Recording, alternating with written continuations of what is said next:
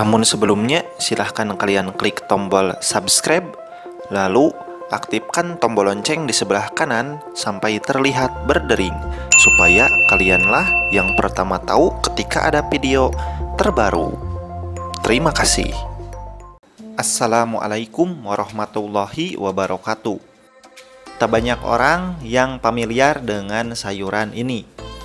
Ya, sayuran ini adalah selada air Sayuran dengan daun kecil berwarna hijau ini biasanya diolah menjadi tumis, gulai, pecel atau bahkan sebagai lalapan ya yang biasa kita makan. Selain terkenal kaya akan serat, selada air ternyata mengandung banyak manfaat sehat. Apakah kalian tahu apa saja manfaatnya? Berikut akan saya bahas. 1. Mempercantik kulit. Selada air adalah sayuran yang kaya zat antioksidan. Kandungan mineral bersama dengan vitamin C di dalamnya bisa menghilangkan racun dan mempercantik kulit. Wanita yang rajin makan selada air memiliki kondisi kulit yang cantik dan sehat. 2. Memelihara kesehatan mata. Selada air kaya akan lutein, yaitu zat antioksidan yang baik untuk kesehatan mata.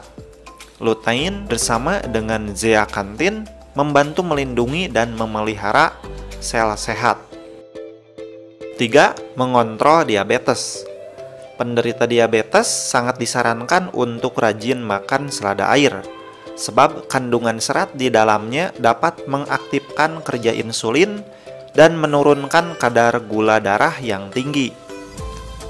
4. Menurunkan kolesterol. Dalam sebuah penelitian ditemukan bahwa makan selada air bisa menurunkan kolesterol jahat. 5. Menurunkan hipertensi. Selada air mengandung nitrat yang tinggi. Nitrat itu sendiri berfungsi untuk menurunkan hipertensi atau tekanan darah tinggi.